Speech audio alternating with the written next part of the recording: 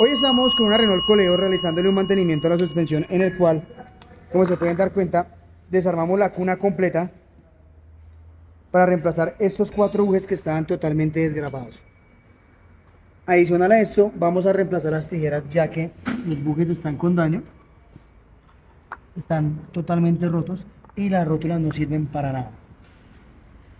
¿Qué va a pasar con este carro? ¿Qué fue lo que pasó? Ayer le cambiaron este buje de tijera y dañaron esta rosca de acá.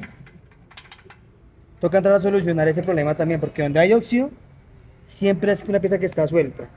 La caja de dirección también se va a reemplazar porque tiene un golpe, también tiene afectación, no se deja arreglar, por tal razón tenemos que reemplazarla. ¿Qué tijera vamos a utilizar? Marca Motrio. Buena marca, recomendada para Renault, da una buena garantía. Vamos a reemplazar también lo que corresponde a los muñecos de la barra estabilizadora, como se pueden dar cuenta, y los cauchos de la barra estabilizadora. Los amortiguadores ya los vamos a desarmar para poderlos mirar en detalle. Estos son amortiguadores de la Renault Coleos, como se pueden dar cuenta. Hay uno que ya está empezando a humedecer. Los soportes del amortiguador pues no se ven malos. Vamos a mirarlos al momento de desarmar. Como tal les digo, un mantenimiento de esto, la mano de obra tiene un costo para nosotros, con nosotros, con el servicio de prensa hidráulica incluida, de 400 mil pesos. Ustedes son autónomos de suministrar los repuestos. Este carro es muy bueno, sirve para trabajo, pero también cuando requiere sus mantenimientos, toca hacérselos.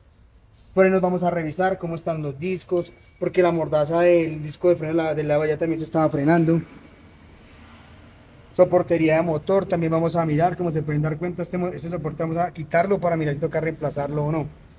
Para hacer este trabajo, ¿cuánto disponemos de tiempo? Pide un día y medio para poderlo hacer al derecho. Lo que más nos demora es poder sacar estos bujes de acá, que es lo que es más dispendioso.